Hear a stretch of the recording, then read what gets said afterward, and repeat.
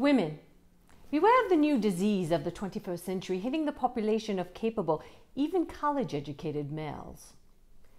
I don't want to work itis. Usually coddled by their parents till they're God's gift to the world and given everything without having to work for it. These men are infesting our society. As women work and earn more, one of the side effects seems to be that their mates come down with, I don't want to work itis. If your man is looking for a job and is always on the computer, and if year after year no job is found, yet his number of Facebook friends increases exponentially, he has been infected.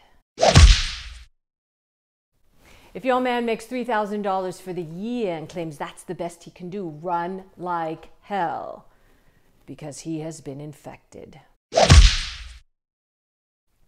To date, there is no cure. No amount of nagging, pleading, or cajoling will remedy the situation. You'll find yourself like a hamster spinning on a wheel, working, making money, yet never getting anywhere. You must, you must detach yourself from this disease. Certainly do not get married. If you live in a no fault state like California, when you get divorced, he will get half of everything, even though he did not make half of anything.